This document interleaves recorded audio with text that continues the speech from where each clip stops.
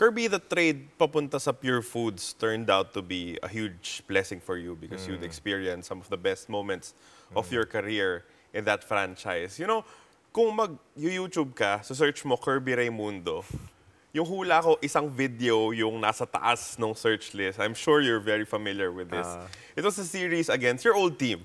Yeah. Itong Red Bull, uh, it was a win in the finals. Kakapanalo lang ni Enrico Villanueva ng Best Player of the Conference Award.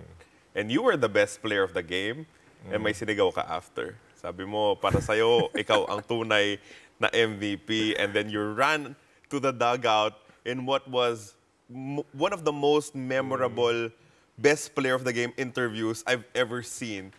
Siguro i-rewind natin yun, sabi ko, bro, congrats.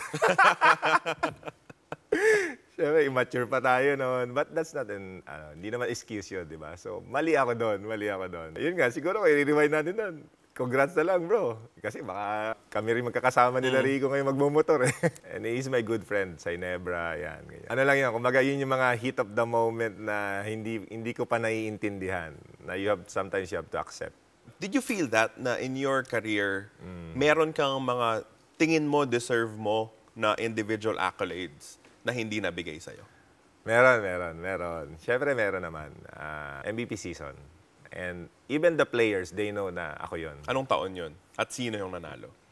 Ah, si James yata nanalo nun. Si James. Si James. Alam ko si James. Tapos magkakampi kayo. Magkakampi kami. So it was really, you know, uh, kasi pareho naman yung resulta ng ng teams because you were in the same Yeah. team. It was a matter of maybe statistics or voting. More on if kung voting ng players, syempre ako panalo ako doon. Ganon. Doon lang sa nagkatalo doon sa sa ibang ano. But you never took that against James. Ah, no, no, no, no. Hindi naman. Kami rin nag-champion nun eh. So, umaga, focus lang, move on lang. Yun yung pinaka most important na, ano, eh, na goal namin.